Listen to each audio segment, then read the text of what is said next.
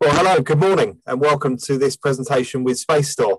So, this is part of our Florida market launch, which we, we're going through a whole series of presentations through the remainder of this week. Um, we already had a good number already reaching out to the Florida market and introducing Spacestor as a new creator of workplace furniture to, to you all. And very excited to be partnering with Dino and Associates in the Florida market. So, that's um, a, a very exciting new opportunity and new venture for Spacestor. My name's Alex Harvey, and I'm the VP of Sales here at Spacestor.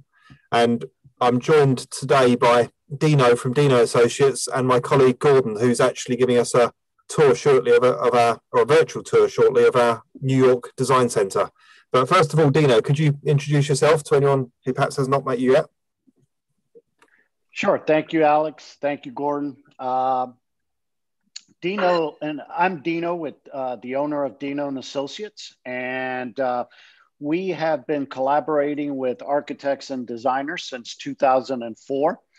Uh, we are very pleased to have partnered up with uh, Spacestors and bring in that uh, West Coast vibe to the East Coast with some very unique products, uh, which I'm sure you will find enjoyable in today's New York Design Center tour. Alex? That's great. Good. Thanks, Dino. And just before we, we go around the design center, I'll just give you two minutes introduction to Spacestor, just in case anyone hasn't yet met us. So anyone who's on the, the Zoom platform joining us or anyone who's joining us through the live stream on LinkedIn, Spacestor are the creators of workplace furniture that's a blend of California cool and London design. And, and what that really speaks to is the, um, the, the key influences that have made Spacestor the company we are today not just who we are, but also our approach to how we design our products. Um, and finally, of course, the products that we produce. So, Gordon will be touring us through some of the products that Spacestor could be bringing to your projects and talking about some of the customization options that we have available. But that's really the background to Spacestor is those two elements, the London design, our, if you like, our roots and our heritage here in the London market. And perhaps I should say I'm actually here in our London Design Centre. So you're getting a, a double tour, two for the price of one um, today. So I'm here in the in the London market, and Spacestor have been creating workplace furniture here for just under 30 years now. But also more recently, our approach into the US market, which started back in 2012 when we opened our first design center in California. Um, but then that's developed in the last eight or nine years so that we're now nationally represented. We have our flagship design center in New York. And with that, that brings us straight to Gordon in the New York Design Center. So I'll hand over to you, Gordon. You can give us a whiz round. Yeah, thank you, Alex, and uh, welcome to the New York Design Center on a lovely sunny Thursday. Um, just want to give you a quick tour around this design center. That was a partnership um, with Spacestor and Gensler, based here in New York. And one of the things that we like to talk about about the design center, it is an experiential workplace. So as we go throughout the space, it's not going to feel like your traditional office furniture showroom. Um, there's so many more elements to it that I think you'll find intriguing, you'll find interesting. Um, ways to divide up space, ways for personal storage, ways for collaboration. And feel free to ask any questions as we go about the product line. But I'm going to kick off here in our conference room. Um, so, one of the things about Spacestor is a lot of our product is furniture built um, furniture style built, rather, I should say, um, versus millwork. So you'll see that as we go throughout the um, products and you'll hear me speak about it. But really, what that does is it allows the end user to get the product they want, get the flexibility, the agility, um, while allowing a designer to create a beautiful space. So, here in our conference room, we feature a few different products. We have our Palisades Lux, which is our brass Palisades range. We have our Brev conference table and then our media store with the Palisades Lux on top. And I'm just going to give you a push in and we'll explain this.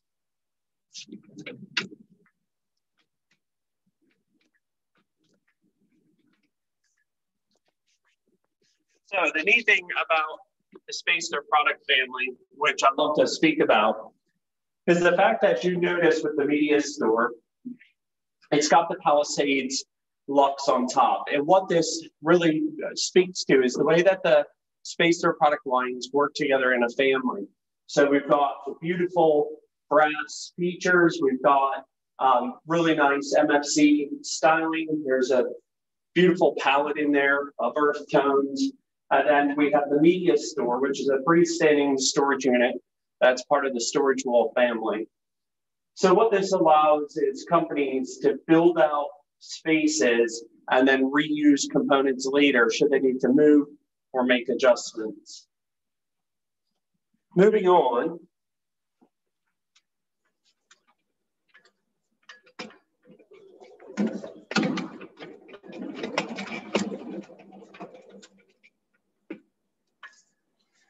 with the storage theme products, I want to talk about one of my favorite products, the Snuggle Store. And this really embodies who Spacestor is. So as we, as Alex alluded to, we started out over 45 years ago developing storage type products. Obviously, storage has completely morphed over the years, going from paper storage um, to digital storage. And now in the post-COVID workplace, it's gone to personal storage. So what we have here is our storage wall component. So each one of these boxes makes up different pieces that are put together. We've got a coat cupboard over here. We got some brochure storage over here.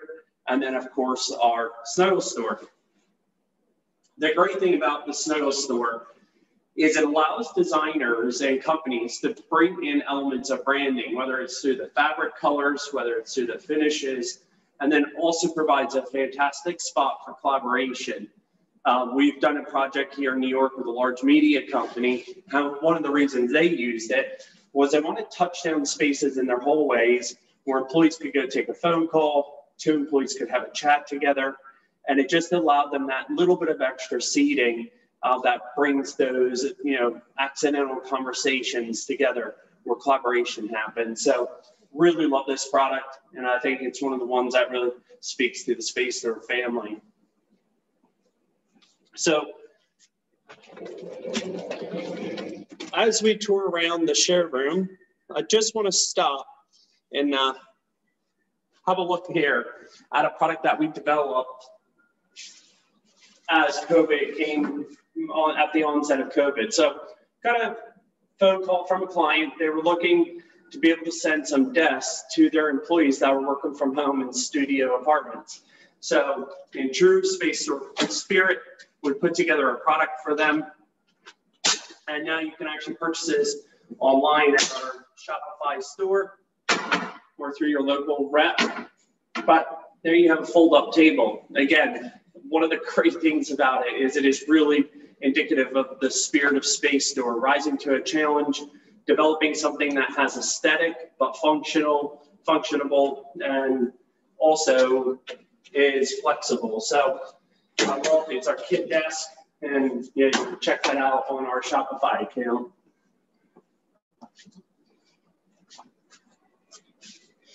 So as we go throughout the space, I just want to, there's the streets of New York, 31st and Park Avenue South. Things are humming, taxis are moving, business is happening. So uh, anytime you want to come and join us in person, love to have you.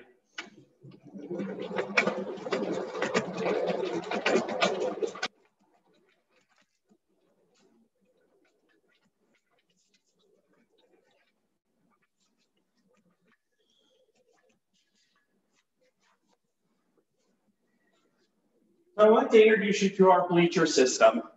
Um, here at Spacestor, we talk about product in the two minute window, the two hour window, or the two day window.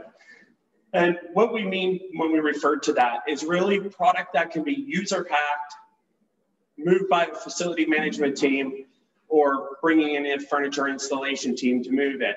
And one of the things that, as we look at designing our product, is can the users hack it? Can they change it themselves? And the bleachers are a perfect example of that. So what we have here is a system that works very much like Lego blocks. So I can pair them up differently, put them together, and then they clip together with a bleacher pad.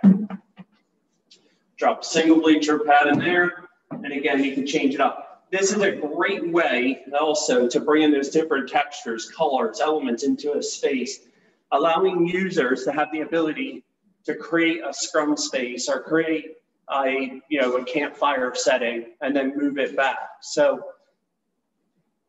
very good for an agile workplace.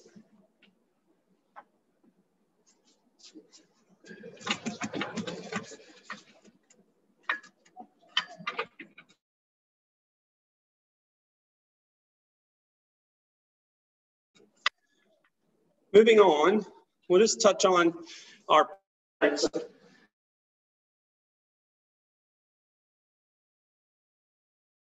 Palisades. We have Palisades and Pygmies is our original 32 inch wide increment modular system.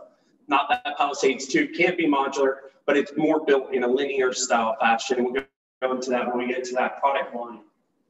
So what you have is the ability to bring in biophilia. This is our four inch weighted base. We also have a 29 inch or 34 inch um, covered base, completely freestanding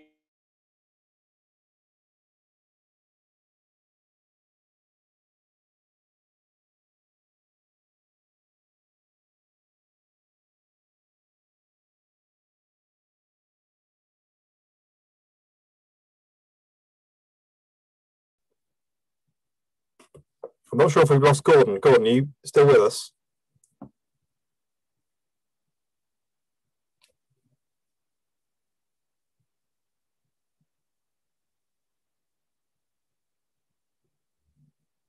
Dino, are you hearing me okay? Have we, have we lost Gordon or is it my end? Yeah, no, I'm hearing you okay. Uh, Gordon uh, has frozen up, so we must have lost him. Okay, looks as though we've lost him completely. Um, so Gordon was just talking us through the Palisades family, which um, what we're we're seeing, or the use case we're seeing with the Palisades family is as a as a zone divider first and foremost. And the product was originally designed actually, um, or we originally launched actually more like five six years ago. But we're seeing that the use of those dividers has morphed. And In fact, here is Gordon back with us. So the use of those zone dividers has morphed over the last particularly the last 18 months, in how people want to use Palisades as a divider between different spaces in the post COVID world. So we're seeing the need to divide zones one from another, whether it's a team from another team, you know, a sales team from a marketing team, or a, a, a particular type of workspace. So it might be a task working area from a breakout or a chill out zone, for example. Um, we've seen that as a as a great use case for the Palisades family, but the added benefit we're seeing from many clients is the um, is the ability for those dividers to be moved and changed and adjusted in the future. So we don't have to have a fixed wall in that in that zone division. We can use a piece of furniture, which incidentally also looks very beautiful and can be used to kind of display the different um, maybe the different objects and marketing materials or whatever it is you want to to look within your um, within your workspace, but also you've got that ability to kind of unclip it, move it around, shift it around in the future. So, Gordon, are you back with us now? Yeah, I am with you. However, I'm on my phone. It looks like the Wi Fi has uh, taken an opportune moment to completely die. Um, I'm not entirely certain what's happening, but I'm more than happy to do this via my phone if that works. Yeah, absolutely. Yeah, let's let's continue with the um the design to if you can do it via, via your phone, then go for it. All right. So I just wanted to see see if I can switch us here. So perfect. Are you seeing that all right? Yeah, perfect. Thank you. Um, so again, apologize for that. Um, seems like IT issues seem to be the call of the day. So one of the things that I wanted to point out was our um, railway carriage product. So thank you, Alex, for jumping in about the Palisades. Uh, we'll get to the rest of the railway carriage, but while we're back here, just to point out the way that the railway carriage here has a whiteboard back in a um, shelf unit on it. So one of the things that we look at when Spacestor designs product is it's kind of 360 degree view of the product. So being able to use it as a divider, being able to have finished panels where they're usable for the end client, that's very important. So we'll get to the row at the front of it shortly, but I just wanted to point that out. Moving on, I wanted to touch on the residence max. So this is our larger single person phone booth. It is a height adjustable table and it also sits directly on the floor. So gives a little bit more inclusivity for the users, whether it's somebody that has a disability, somebody that um, needs a little bit of extra space. We also have a height adjustable table. So as you can see, that goes up and down. And you can also hear how quiet this is and the door is still open. Um, we've got an adjustable fan and lighting, as well as this particular one is fitted out for a sprinkler. One of the neat things about this product, it is UL approved, and it also, in our Wellness Plus series, comes 99% red list free, as well as no added formaldehyde, which we're aware that's been an issue in the past with foam booths. Any further comments on this particular product, Alex? That's helpful, Gordon. Thanks. And I think what we're seeing with with many clients is the the increase in in the need for this kind of space in the post-COVID workplace environment, where often people are on video meetings of, of whatever type that might be, whether it's Teams or Zoom or some other technology people are using. Um, and I think the hybrid workplace developments that we're seeing with many clients is going to further contribute to that. So, enclosed acoustic spaces like this can help really make the workplaces of today ready for the post COVID return to the office. Because at the moment, again, we're hearing from many clients is that there's this huge increase in video calls, but actually, the workplaces of today aren't really designed to accommodate that number of video calls. So, this is really about making the current workplaces fit for purpose, but without a huge construction project with all the, um, you know, the disruption, the mess, and often the environmental impact that has. So, yeah, thanks, Gordon. Over to you again. Yeah, thank you. So, moving on, I just want to touch on our railway carriages. So, what you have here is our four person railway carriage with a back, and then our two person backless railway carriage. One of the things about the railway carriage, this is typically a product that would have been done as a millwork type component. However, again, we have turned it into a furniture component to allow for ease of use and flexibility. Great way also to influence that color again.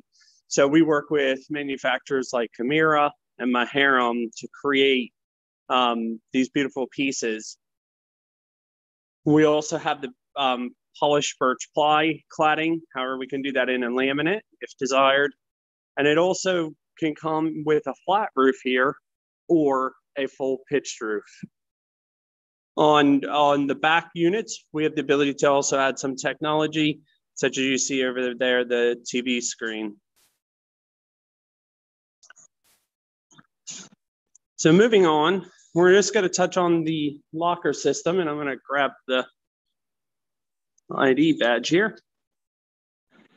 So this is our hot locker bank here across the back of the design center.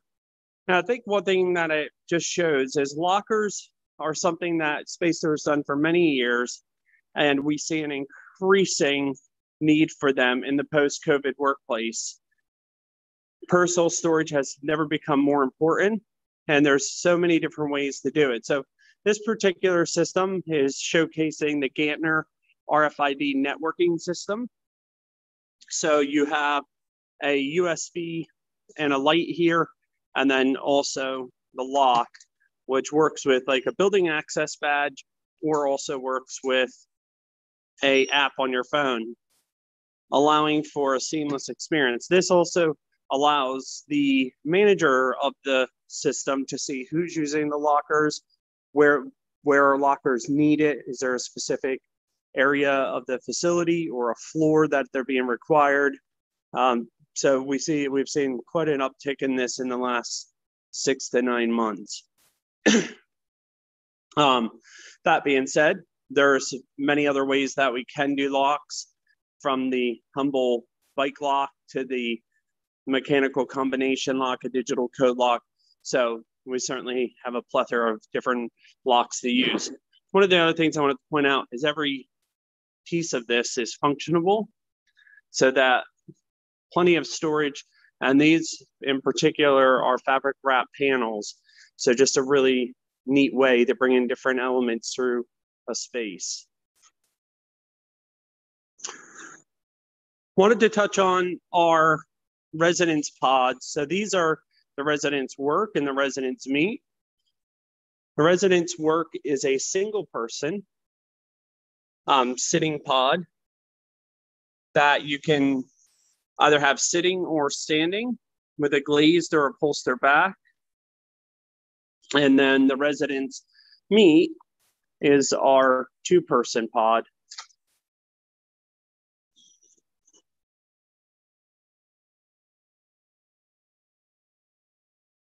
So we'll just pull out here. Give you some idea of what they are. Moving on, I wanted to touch on really the centerpiece that's here in the design center, and that is our courtyard. The courtyard is designed with the Palisades 2 family. Excuse me. Um, Palisades 2, as I mentioned previously when we were referring to the Palisades, is a half inch square iron tube system. The neat thing about the Palisades 2 is that it actually goes from 2D to 3D. And what we'd like to say, it really creates architecture within architecture. So the ability to divide up a space, break up a space without demising walls, without dementable walls, to be able to create you might say courtyards or collaboration areas, collaboration hubs throughout a open floor plan. It also comes with some really nice details such as the arched opening. And then there you can see that 2D component. Here we're showcasing biophilia with the planter boxes as well as a whiteboard. And then there's some acoustic panels tucked in there Any comments on this one, Alex? I was just wondering if anyone's um, also noticing the ceiling detail. Perhaps you could speak briefly to that as well, the uh, Palisades grid that that's um, feature on the ceiling. Yeah, absolutely. So the Palisade, one of the challenges from the design team when we were building this space was, can we use one of your products on the ceiling? As our ever ingenious R&D team has come up with a ceiling mounted Palisades. And I think the incredible thing is, is it just blends again in that family component. One other thing that I should have pointed out is the particular courtyard is not affixed to either the ceiling or the floor.